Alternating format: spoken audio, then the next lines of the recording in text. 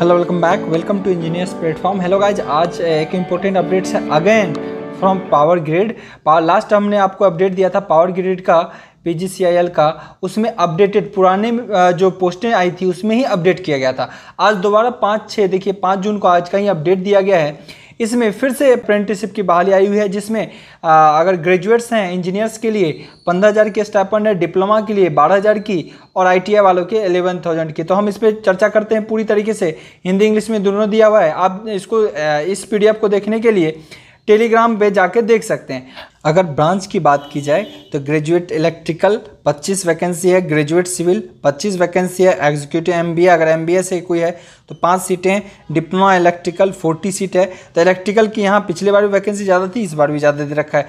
Diploma civil दस है और आईटीआई इलेक्ट्रीशियन चालीस सीटें हैं। तो इस तरीके से हैं, आप बाकी इस चीज़ को डिटेल में अगर देखना चाहेंगे तो डिस्क्रिप्शन में लिंक दे दूँगा इस वेबसाइट का। मैं आपको एक बार डिस्कस कर देता हूँ यहाँ पे। देखिए, ये वन ईयर अप्रेंटिस है normally one year six month या दो साल का ही होता है ऑन एन एवरेज कुछ चीज़ को ध्यान रखना। पहले जो था, वो वेस्टर्न रीजन को ध्यान में रखते हुए था। इस बार ये नॉर्थ इंडिया के ध्यान में रखते हुए है। यहाँ देखिए, क्या दिया है? दिल्ली, उत्तर प्रदेश, राजस्थान, हरियाणा एंड उत्तराखंड।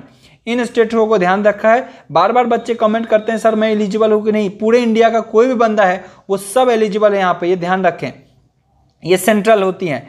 उसके बाद, अब यहाँ पे एक चीज़ और है कि बच्चे कब एलिजिबल होगा? देखिए बोला जा रहा है कि आज से, आज अगर जैसे पाँच तारीख है, पाँच, छः, दो हज़ार बीस, अब से दो साल पहले तक जिन्होंने डिग्री लिया, यानी 2018 के पास आउट और 2019 के पास आउट ठीक है? 2018 के पास आउट 2019 के पास आउट, भर सकते हैं। अगर कोई बीटेक किसी की यूनिवर्सिटी इस बार एडवांस फास्ट है और अभी तक उसको डिग्री दे चुका है तो वो भी एलिजिबल होगा। लेकिन अभी के बाद जिसको डिग्री मिलेगा, वो एलिजिबल नहीं होगा।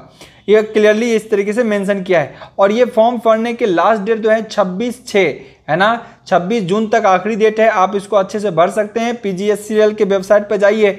ये देखिए पीजीसीएल का वेबसाइट है है ना? और यहाँ से आप क्या कर सकते हैं, इस को लिंक पे जाके वहाँ पे साइट पे जा सकते हो। तो मैं इसके वेबसाइट को लिंक डिस्क्रिप्शन के अंदर, यहीं डिस्क्रिप्शन के अंदर लिंक इसका ज़रूर आपको आप डाल दूँगा। और इस पोस्ट को अगर आप देखना चाहते हैं, इस पेपर को तो यहाँ पे जो नोटिफिकेशन डाला गया है पी जी के तरफ़ से तो इसको मैं टेलीग्राम के ऊपर डाल दूँगा। ओके गाइज़ आज के लिए इतना ही। Good luck have a nice day